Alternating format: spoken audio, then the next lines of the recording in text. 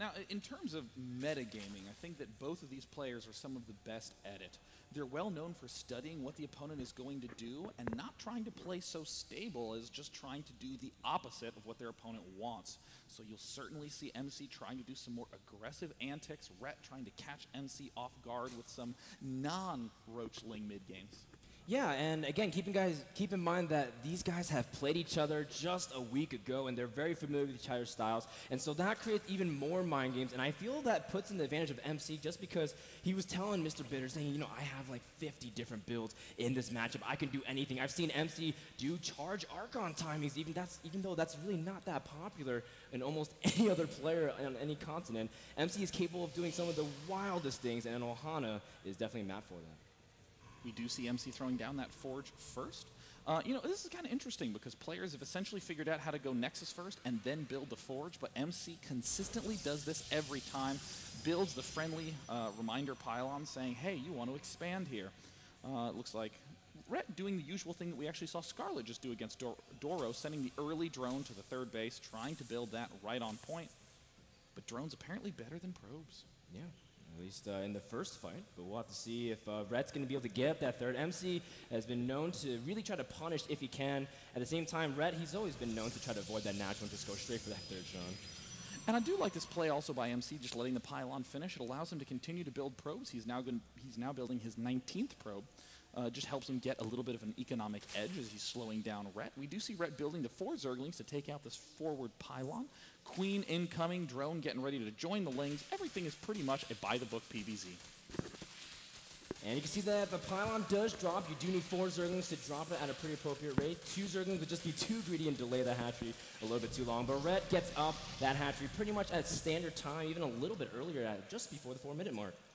With that natural expansion now going down, it looks like MC is, oh, going to be building a pylon off to the side. He does want to try to do some kind of early cannoning. MC walling himself in. The crowd just loves cannons, Frodan.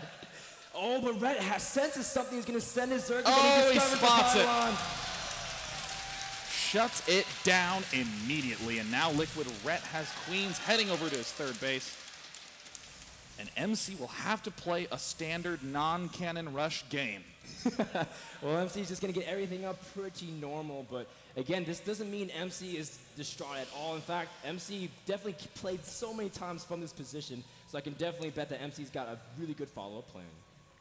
It looks like we are seeing Ret uh, throw down this creep tumor by the third base. And this is kind of an interesting choice. We generally see a creep tumor started in the main to join the main to the natural and then to the third base. But this is an aggressively planted creep tumor. It will allow him to extend forward to this uh, Xel'Naga watchtower very early on. What does that mean? He has a forward creep spread that can help him defend two base all-ins a lot more easily. It's a subtle way to deal with that early pressure. Yeah, just being able to reinforce quicker, have that vision, really force Protoss to be very cautious with how they approach the Zerg bases. At the same time, you have to really pay attention to the gas timings from MC at the natural. You can see Ret is really anxiously waiting to see if MC will reveal that anytime soon. Yeah, I love having the Overlord by this natural expansion. If you see two gases, you know you can instantly go lair a Zerg. And uh, looks like MC's going to go for a really fast plus one, and also he does have a Stalker on the way. Now, MC sometimes used to pre pressure with Zealot Stalker, but only going Stalker first, and really trying to conserve his minerals. But of course, uh, at the same time, Ret sees everything, so MC's just being ever so cautious not to reveal any information. I think this is a little bit of a blunder by Liquid Ret if he loses this. Overlord won't be a big deal, but he tends to not have these sort of little mistakes under his belt right away. Whether this Overlord falls or not, and it looks like it will oh. fall. Don't worry, there's another one checking the gas already. Uh, senses something's up, though, getting a Roach Warren a lot earlier than he did against Alicia. We saw him plant it at around eight and a half minutes, being very liberal with that timing, but getting it much earlier, he senses something that MC can do, and we see the four gates already finishing up for MC. Imminent pressure is on the way. There's the three gates finishing up right now. This is quite a fast warp gate. This is actually going to be finishing by 745. It looks like MC clearing out with the Stalker. There's Ret moving forward with his creep tumors. We see that three roaches are on the way. Ret incredibly crisp timing, sees the forward pylon. We'll be able to take it out. While this rush is going on, MC is building a Twilight Council. There's going to be a big transition coming up. Does he go for Blink or get charged for a Zealot Archon play? Ooh, it's actually going to be Dark Templars originally. MC's been war- uh, incorporating this into his play more and more, but Ret is moving with his Overlord to see it as well, but he's also getting pressured at his third, Sean. Yep, there it is. The Dark Shrine gets spotted in the main base. Ret already having those roaches very far forward, able to micro versus the Zealots very nicely thanks to that early creep tumor. We see Ret controlling very nicely, losing maybe two roaches. It looks like no, he manages to pull that one out at the last second and then forget about it and watch it die. And it looks like he did lose the Queen at his third. Yeah, and that queen, of course, just interrupts his production, but more importantly, Ret has all the information that he wants. He knows what's coming up, and now he has enough forces, but we do see the force field at the ramp does trap some of the units, and now MC can just continue to shorten the amount of army supply that Ret has. Now, this transition from MC very much so favors a Zealot Archoning style, which we've been seeing a little bit more out of MC. It looks like, again, MC still trying to keep this high ground edge. Ret will need to build some kind of detection soon. We see that there is the Robo facility coming up. Dark Shrine nearing completion right now. Where is that Overseer, Frodan? It's right here at the third Oh, shot, thank so Ret goodness. is nice and safe and snug. So Liquid Ret will be able to deflect any of this early Dark Templar pressure. Uh, Blink is a started, so it looks like MC will be playing a little standard, and Ret shuts down another aggression attempt again. Very nice there, and he didn't lose anything really, so that's a fantastic trade. And all of a sudden, this tech from MC is not as useful as it used to be because MC is just transitioned directly into Blink. Looks like, yep, going for the standard plus two Blink uh, Sentry play. Very nice job blocking off this expansion, so that way he can pull back with all this Zealot Sentry. Now getting up to seven gateways, and Frodan, I especially love this pylon that's at the high ground of Yeah. Liquid Ret. He can always, always just warp in, and if, if Ret is too distracted, he can do some major economic damage, maybe even snipe a queen, really halt the, predict, uh, the production of Ret, and really just cut him at the knees. Looks like fourth hatch is going down. Infestation pit coming up. Now, Frodan, do you think that uh, Liquid Ret should be going for a faster hive with that early infestation pit, or does he want to stay on Ling uh, Roach for the early time? Well, I think he's still kind of missing information. He sees the Dark Templars. You know MC wants to do something. He's going to walk up this ramp up here and see a lot of gateway units does not want to get force fielded. But at this point, Ret has to be very cautious because he knows MC's still on two base and he's going to want to take a third pretty soon, but there's no indications of it. He's not clearing his third whatsoever. Normally, Protosses are very anxious to move out, clear anything at that third, and Ret knows that MC is what he's capable of. Now MC is moving down to that bottom left expansion. He has seven gates, which is generally considered an attacking amount of gateways. But given that MC has already gotten himself up to 63 probes, he will use those seven gates to expand and defend himself. The laziest stalker ever doesn't walk three feet. He blinks to get to where he needs to go. That's an American stalker. if I do so say myself. I can only blink 15 feet, and the door was 20 feet away, so I just waited 15 seconds for the cooldown. Oh my god. Liquid Ret uh, now following the most useless observer that there has ever been, literally not letting this out of its sight. He is l- microing this Overseer individually to track it down, but a second observer reveals two DTs in the main. Oh, and is it SC gonna split them up? It looks like he's gonna just pair them two by two. And Irette sees that he's gonna have to evacuate immediately. He does drop a creep tumor to try to connect more bases at his third, but he still has to deal with this. Ret's attention is now on his main. He's gonna pull all his drones, now trying to bring the Overseer. And these DTs, how much damage will they be able to do before they're exterminated? Looks like he lost those two Dark Templar, but did manage to kill 10 workers, a decent trade. And now MC is establishing control down to that bottom left. 11 Blink Stalkers, 5 Sentries, 2 Immortals. What is the energy like on those Sentries? All of them nearly full. He will have plenty of force fields to defend with. Ret now is not yet getting the Hive, still staying on that lair tech with a lot of Roach Ling. MC is getting caught completely out of position. Oh no, MC does not see it. There's an infestor as well, trying to see if he can land on inf- uh, fungal growth here, but it looks like MC does blink back. Oh no, the sentries get completely surrounded, and now MC desperately trying to throw down the force fields as the Roaches burrow movement forward, one-shotting an Immortal, two-shotting the other. Once we see those infestors rolling in, MC is going to be very low on options. Oh, MC loses three Immortals, a fourth one getting in there, but not even attacking, just kind of waltzing in there, and the Immortal immediately drops, and all of a sudden Ret has free reign to be a little bit more aggressive, but he backs off because he doesn't have the reinforcements there just yet. In fact, Ret uh, lost a lot of his infestors as well, but we do see that Ret has reinforcements all ready to go just again, and I love that Ret's being so comprehensive, making a few overseers just in case MC's being sneaky with DTs. Those four hatches churning out so many units, Frodan. I mean, Ret is going to be so strong in this follow-up attack. There's no sentries, there's no immortals, and you can only build those immortals one at a time. It is going to be only stalkers to defend the attack. And you can see that Ret's pushing in here. He does have a couple fungal growths, but he's just going to use them for Infested Terrans to add some DPS. Ret's not focusing the Immortal. The Immortal doing a fantastic amount of damage. We can see the reinforcements are huge, and the amount of damage some roaches are focusing the probes as well. So Ret splitting up the army in a very nice fashion and really whittling down trading very efficiently. Ret doing a great job keeping MC at slow, steady losses in these battles. MC's micro incredible, allowing him to stay alive against this seemingly unstoppable force of roaches. MC will be able to hold, but the edge is continuing to tip in Ret's favor. Oh man, but Ret's drone count is not that high, so he actually has, doesn't have the strong of economy. MC during this entire time still keeping up probes. He's at 70, Sean. Seven workers total killed off by Liquid Ret. As we scan around the main bases, we see that Liquid Ret does not yet have a hive, having little mistakes like two in the extractor at the natural expansion. He has not yet begun building any drones for his third base. He is actually continuing to just roach rally to the front. He feels that now is the time to be able to take down MC, but I actually think that after that second attack, MC is starting to stabilize and there needs to be some transition from Ret into late game. Yeah, Sean, I think I agree a lot with the hive timing as well. Ret definitely needs something a step up. He's making a lot of infestors, but now he's starting to focus more on drones and starting some melee upgrades. So he's starting to already pick a different tech path.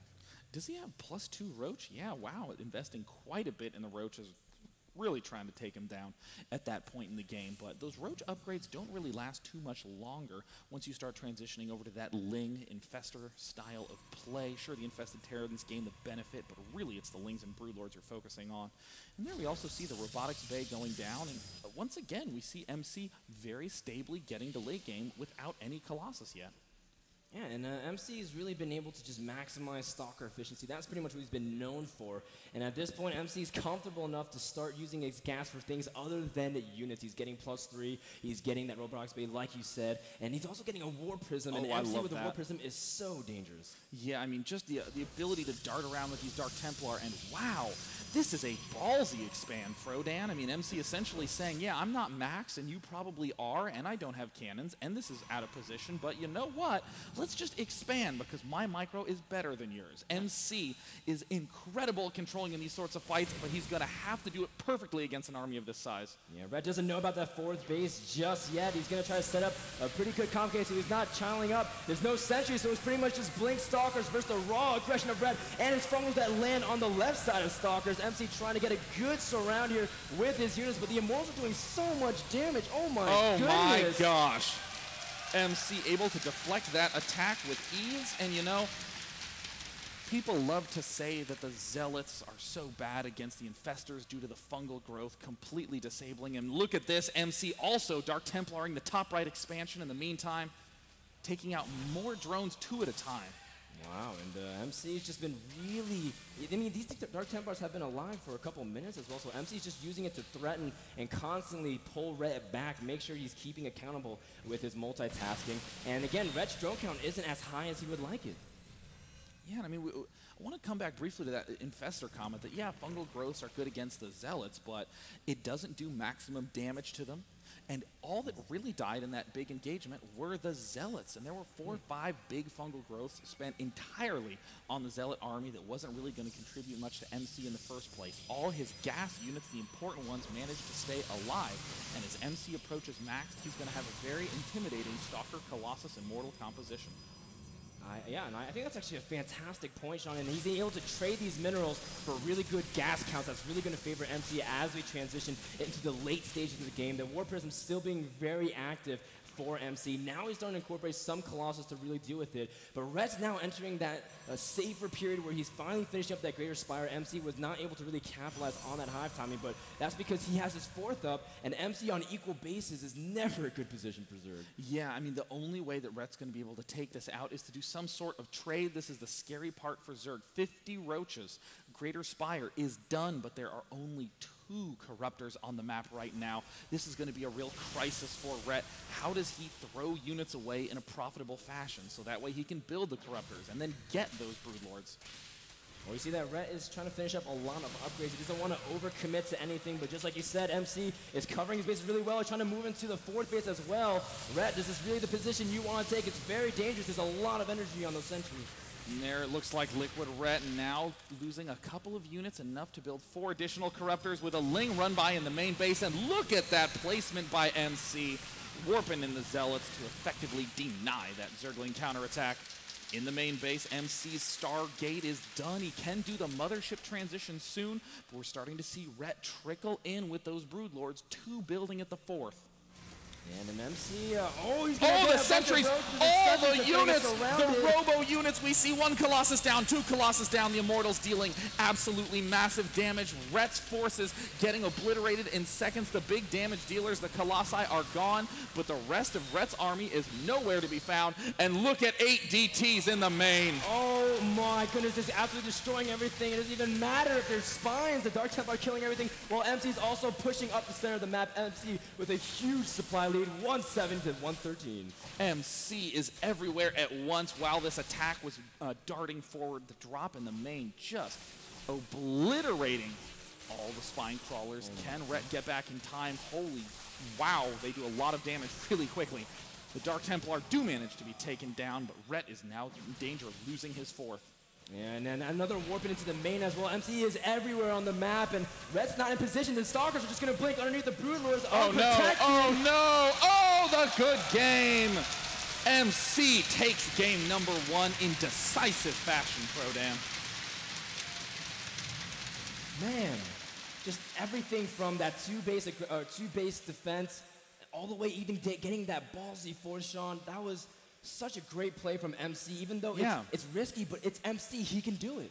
Yeah, I mean, you saw that just this complete and total comfort being low on sentries. That's always something that every commentator points out, every Protoss player feels. When you have only stalkers and you just get surrounded and killed off. But we saw MC way overbuild zealots. It seems it seems almost weird. It seems almost wasteful. But we saw trading armies only losing zealots, trading again only losing zealots. And suddenly he gets an early fourth. He's maxed, and what a great follow up with the Warp Prism. Yes, love the Warp Prism play, being active with DTs. Love that he chooses perfect fights by the cannons while he uses his yeah. ability to surround. Fantastic play from MC. So that does mean we will be going on to game number two. The map choice will be Liquid Rets. His decision is going to be Dual Sight. Can he start to pull the series back, or will MC be able to take the series to 2 0? I'm Day 9. I'm Frodan. Guys, when we come back, game two between Ret and MC.